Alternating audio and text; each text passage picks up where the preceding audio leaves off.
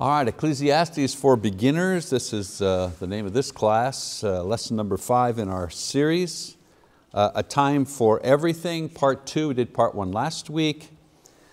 Uh, so in the, uh, in the journal that uh, Solomon um, is writing, he has described the various ways that he sought for satisfaction and joy apart from God. I think that's, the, you know, that's as much as I can compress um, the idea of what's going on in this particular book. Solomon is kind of watching himself and taking notes about the various lifestyles that he has experimented with. And we have said so far, uh, he has pursued wisdom and found that increased wisdom only brings increased pain and, and grief.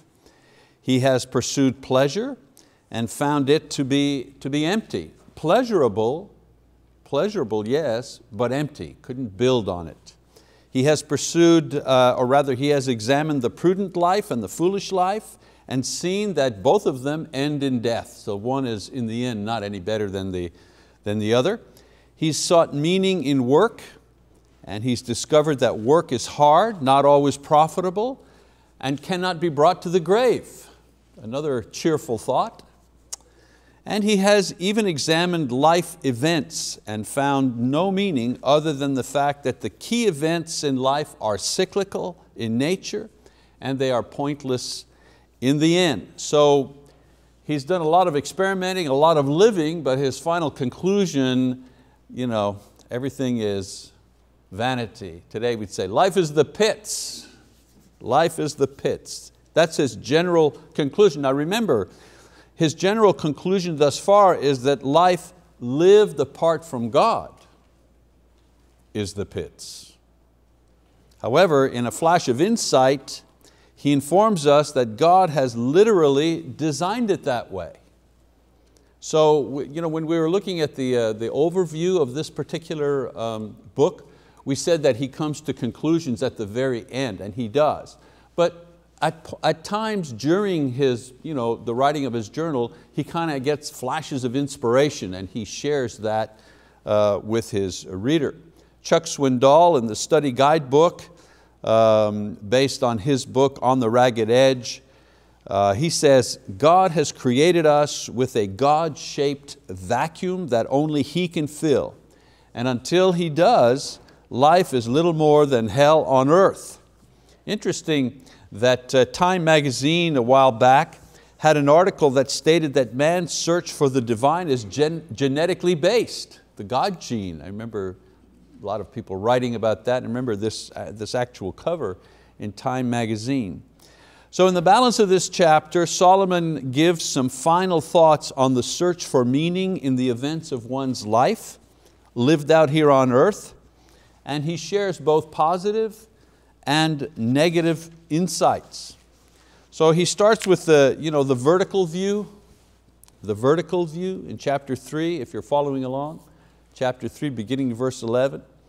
If man is able to look beyond the events or the times of his life here on earth and develop a, a vertical viewpoint, one that sees life from an eternal perspective, he will then discern certain things. And Solomon lists these in the next uh, several verses. So in his search for meaning, he's looked for meaning under the sun, meaning apart from God.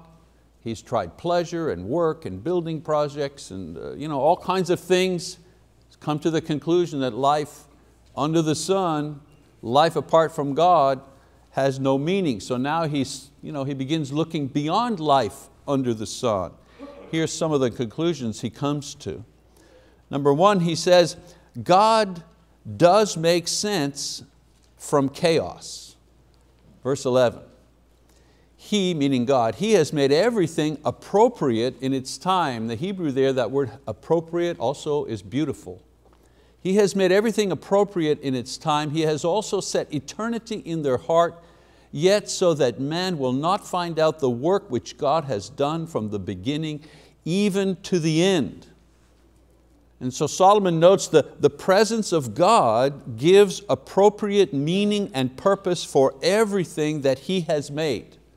For example, In Psalm 19.1, the writer says, the heavens are telling of the glory of God, and their expanse is declaring the work of His hands. So the stars, if you just look up at the stars and you say, man, there sure are a lot of stars up there, and they're up there every night, and the more we, you know, the more we look, the more stars we find. That's, well, that's pretty amazing stuff. That's the thought of life under the sun. You can't go any further than that. Maybe we can start counting them. Maybe we can start looking to see if there are other people out there, but I mean, it doesn't go beyond that. But if you've got a vertical view, including God in your view of life, then the stars exist to declare His glory. Why are they up there? They're there to declare the glory of God. How marvelous is God, how strong and powerful He is that He's created all of this where we can't count the stars, we can't see all of them. Imagine, there are things that He has created that we will never even see in our whole life, and yet they, they, you know, they, they function, they have purpose, and yet we're, we're, we're not even aware of these things. That's how great God is. Another example, in Psalm 150, he says, let everything that has breath praise the Lord. Praise the Lord the psalmist here is declaring that the voices and the noises of all life are there for what purpose? To praise God. It's not just crickets uh, making their noise, and you know, the noises of the night. It's not just that. When we have a vertical view of God, we realize that all animals, even as they're living out their lives and doing what they were created to do, in their own way, give honor to, to God. Uh, Romans chapter uh, 8, 28. Paul says, and we know that God causes all things to work together for good to those who love God, to those who are called according to His purpose. Again, all events, whether they are good or bad, serve God's purpose. And for those who believe, the advantage is that all events ultimately work for good. For disbelievers, everything taken together is meaningless. That's what, that's what Solomon's point, that's what he's saying. He's looked at everything, he's tried everything, and it all comes to nothing, no meaning, unless, unless you have a vertical view and understand that God is there. Then everything does take on meaning.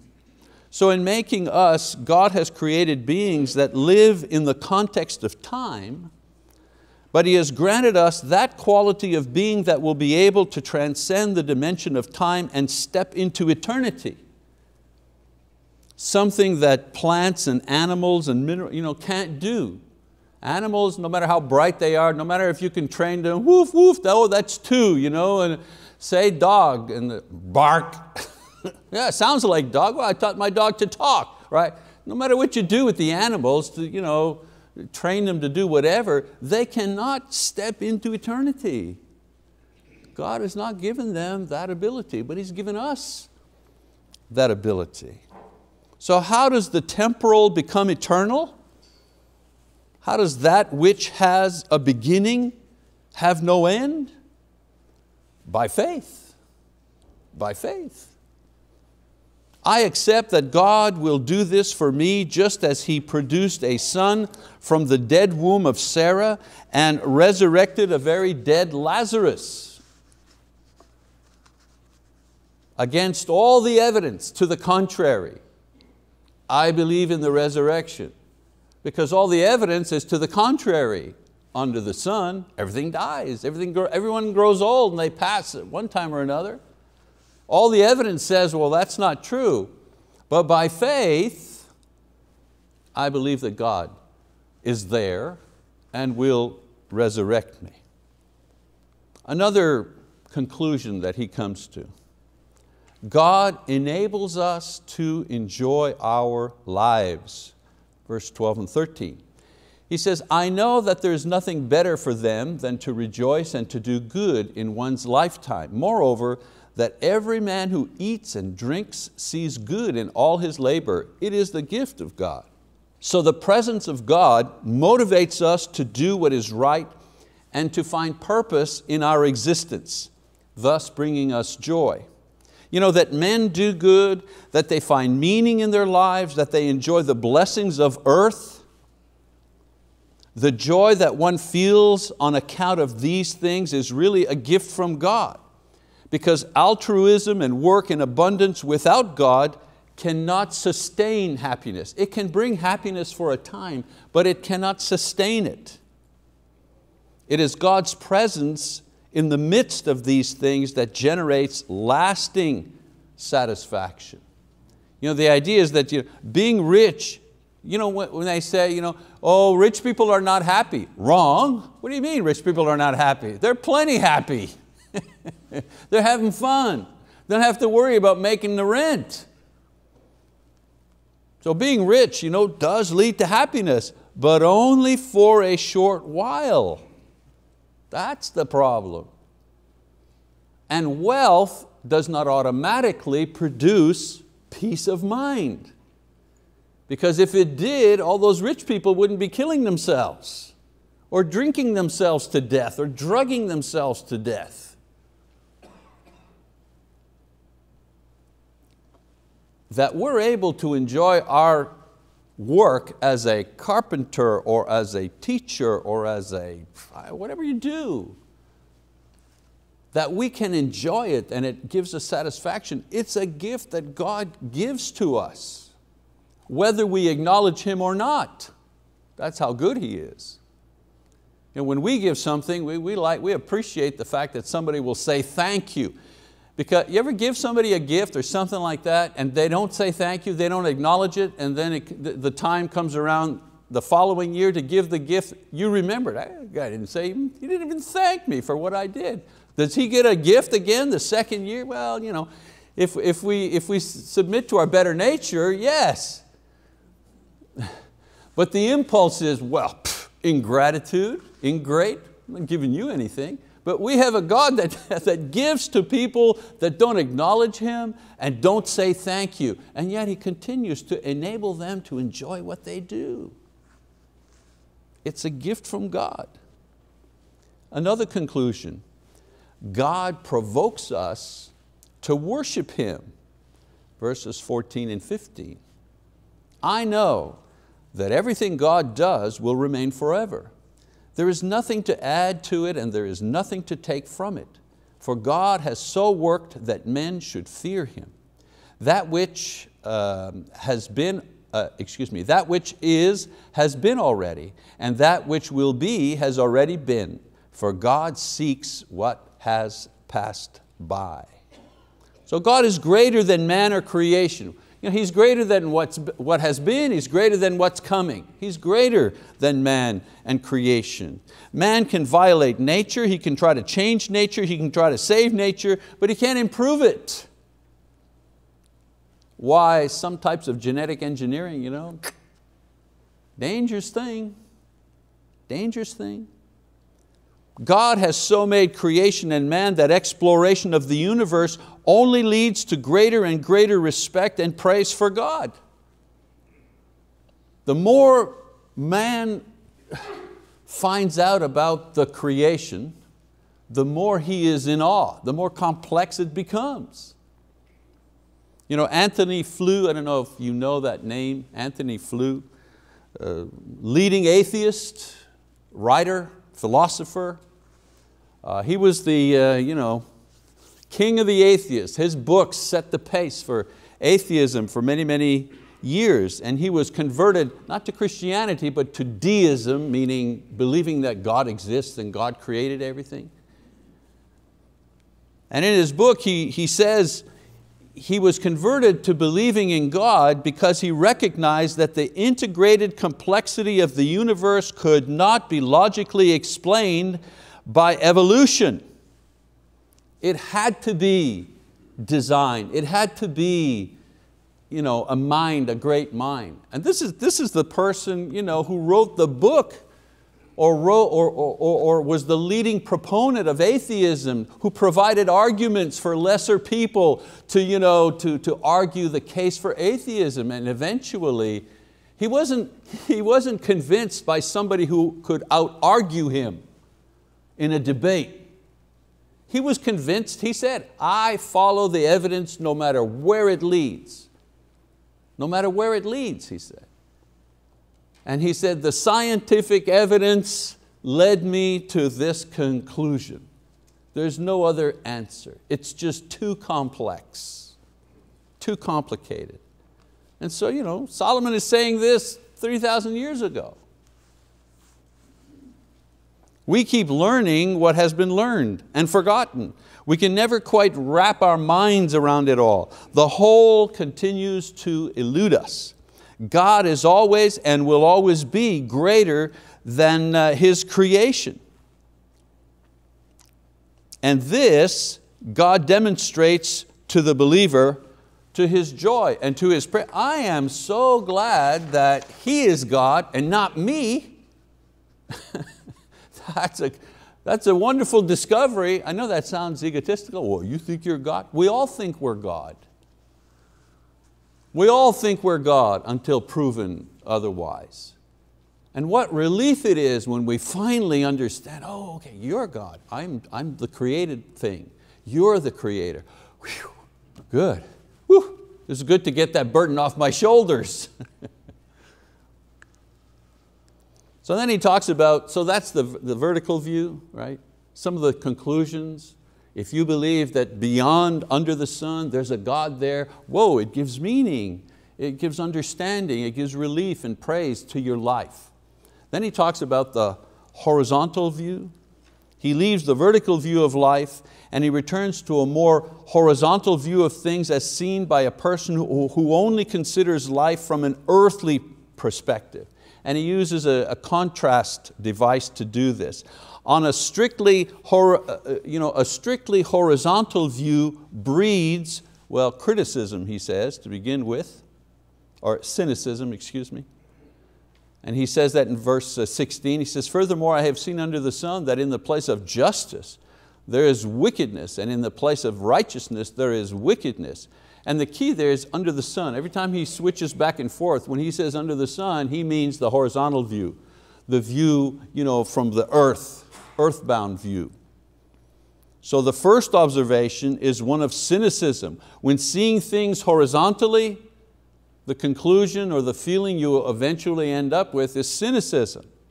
Cynicism is a sense of disillusionment, a feeling that no good exists. It is a step removed from despair. You have cynicism and then the next step is hopelessness or despair. And cynicism occurs when there is injustice and oppression that goes on unpunished for too long.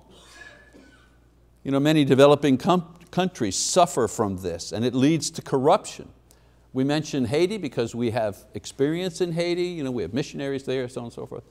And I mean, all the money that was raised because of the hurricanes and the earthquake is still sitting somewhere because they can't find you know, people to handle the money properly so that it gets to the people. They're one of the most corrupt countries in the world. The people are poor there for many reasons, but one reason in particular is that the leaders of that country have been so corrupt for so long. Solomon mentions the cause for his cynicism actually in several places throughout this book. Read a couple of them. In chapter four, for example, he says, Then I looked again at all the acts of oppression which were being done under the sun, and behold, I saw the tears of the oppressed and that they had no one to comfort them. And on the side of their oppressors was power, but they had no one to comfort them. So I congratulated the dead who are already dead, more than the living who are still living. But better off than both of them is the one who has never existed, who has never seen the evil activity that is done under the sun. How's that for cynicism? Never mind you're better off dead, you're better off never even being born. Another place where he talks about this, chapter 5, verse 8. If you see oppression of the poor and denial of justice and righteousness in the province, do not be shocked at the sight. For one official watches over another official and there are higher officials over them. I think today we call that systemic corruption. You know, newspaper people say, well, the corruption you know, goes to the very top. Well, that's what he's talking about here. And then in um, chapter 8, verse 9, verse 9, he says, All this I have seen and applied my mind to every deed that has been done under the sun, where, wherein a man has exercised authority over another man to his hurt. I see this, he says, at every level. Even the dog catcher you know, is grasping for a bribe. So he sees that in life there is not always a happy ending that the bad guys win, that children die, that the wicked have happy lives and the good and faithful wife is beaten and abandoned and nobody cares, or worse still, no justice. That's the view from under the sun. So the horizontal view of injustice easily, almost eventually and inevitably leads to cynicism. And so he offers some solutions here. He compares cynicism to the vertical view. He offers some ways to deal with the despairing cynicism caused by the strictly horizontal view of life. And so one of the things he says, realize that injustice is temporary. Verse 17, I said to myself, God will judge both the righteous man and the wicked man, for, time, uh, for a time for every matter and for every deed is there. In other words, your judgment is coming. If you have a vertical view, if you have a horizontal view, uh, if you don't get justice in this life, you don't get justice. You were born poor, you lived as an oppressed person, and you died miserably, and that was the end of your life, period. He says, however, if you have a vertical view, then realize no matter how bad it is, God will execute justice one day. Everyone will be judged and no one will escape judgment. No one will escape judgment. Justice is only delayed, not canceled. We need to commit the hurts and offenses to God who will make a righteous and final judgment at the appropriate time. I mean, that gives hope to someone who is living under some kind of oppression that they themselves cannot you know, throw off. A recognition that God, God will, you know, He will execute a fair and righteous judgment one day. Uh, another conclusion or solution to cynicism, realize that injustice condemns man. Verse 18, he said, I said to myself concerning the sons of men, God has surely tested them in order for them to see that they are but beasts for the fate of the sons of men and the fate of beasts is the same. As one dies, so dies the other. Indeed, they all have the same breath and there is no advantage for man over beast, for all is vanity. All go to the same place. All came from the dust and all return to the dust. Who knows that the breath of man ascends upward and the breath of the beasts descends downward to the earth? Kind of a tricky passage here. A lot of people use this to say, you know, doggy heaven. yeah, in Spencer, we have, a, we have a dog cemetery, we have an animal cemetery, you know, I mean, with, with uh, tombstones and flowers and things like that. Some people really love their pets. So the justice of God, he says, will judge those who have acted like beasts in devouring others towards injustice. This is what he's talking about. He's comparing you know, men acting like animals. Here, there is a parenthetical statement concerning a comparison between men and animals.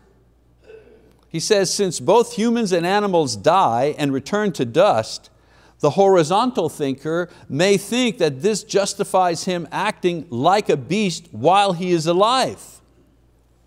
The ultimate danger of the theory of evolution is it makes us all beasts. We are simply beasts. We're simply a higher form of animal. And he says here, if we're just a higher form of animal, then we can tear and devour each other to get what we want. The dog goes into the ground, then we go into the ground. Who cares? Get what you can, the way you can, while you can. But Solomon asks the question in verse 21, how do you know that only after the grave the true difference between man and beast will be seen, as one remains in the dust, the animal, but the other ascends to God for judgment. and then it'll be too late. So his point is you act like an animal, you die like an animal, but it doesn't mean you won't be judged like a human being. So a life of injustice will condemn a man as acting like a beast. However, unlike a beast who remains in the dust, a man's soul will go and face God for having acted like a beast rather than like a man made in the image of God. There's his point. And then he talks about um, hope beyond cynicism. Verse 22, I have seen that nothing is better than that man should be happy in his activities, for that is his lot. For who will bring him to see what will occur after him? Hope beyond cynicism. Solomon's exhortation in the final verse is to face injustice, and we all suffer from it personally or corporately to a greater or lesser degree. Let's face it, some rules are not fair where we work. Other people get ahead when we should have gotten ahead and whatever. You know, the guy at the garage you know, rips you off. You know, all, all he needed to do was change some oil. Instead, he put in a brand new transmission and charged you 4,000. You know, we, we, all, we all have these things happen, happen to us. He doesn't advise his readers to try to understand the why of all of these circumstances or retaliate with bitterness or cynicism or retreat into our closets in resentful silence. He says that we may not be able to alter our lot in life, but we can change our response to it. All of us have injustice we face that tempt us to become cynical and depressed. So here are three questions to ask ourselves in order to change that hopeless cynicism to hopeful realism. Question number one, what is your unjust disadvantage? Name it. When I do counseling with people, you know, especially for you know, marriage, so on and so forth, the first thing I shoot for, I ask them, explain to me in your own words what the problem is. You tell me what the problem is. And usually she says, him. and I'll say to her, okay, what is it about him that, you know, what's the problem with him? And then I'll ask him, well, what's the problem? Let, I want you to describe what your problem is. So here, what is your unjust disadvantage? Put a name to it, explain it, put it into words. Sometimes you know, we overblow petty irritations and allow things to become out of proportion. Try to list and articulate major handicaps inflicted upon you in your life, not just overestimate petty things. I believe that's the work of Satan. A little, a little annoying thing, if he can fan that into a huge thing, so much the better. Keeps you off balance, makes you miserable, denies you whatever joy God has put into that particular day for you to experience, you'll miss it. You know, Satan's tactics with us, not just, you know, oh, I'm going to tempt him to go out and rob a bank or uh, she's going to commit adultery with an absolute, you know, no. His major work, I have found, is to try to deny you the good things that God has put into your day by overinflating petty things, by distracting you, by tempting you to do uh, whatever. Secondly, when do you plan to replace passive self-pity with active courage? It begins with prayer, it follows with action on these things, no matter how small, that are doable. Again, I go back to my you know, counseling uh, example. Usually it's small things, little things.